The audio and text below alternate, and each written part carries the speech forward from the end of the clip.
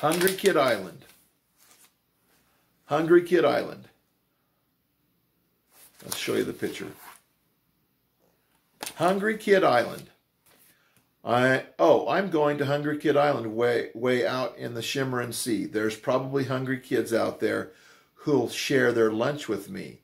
But why call it Hungry Kid Island? There's no kids around that I see, so I'm going to Hungry Kid Island to solve this mystery. Hungry Kid Island is actually the top of a guy's head. The island is the top of a guy's head. Stork Story. Stork Story, page 166. Stork Story. You know the stork brings babies, but did you know he comes and gets the older folks when it's their time to go? Zoom right down and scoops them up, then flaps back out the door and flies them to the factory where they're all made before.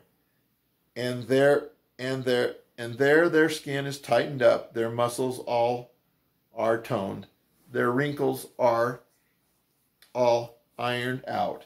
They're given brand new bones. Old bent backs and straight are straightened up. Now teeth are added too. Tired hearts are all repaired and made work made for uh, and made to work like new. Their memories are all removed. They they're and they're shrunk down, and then the stork flies them back down to earth as newborn as newborn babies again. Close, not quite.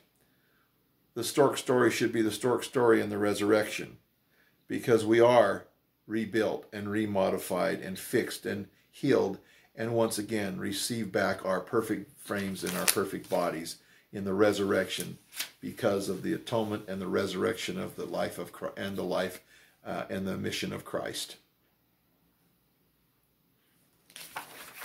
Okay, that's it for that one's falling up with Shel Silverstein.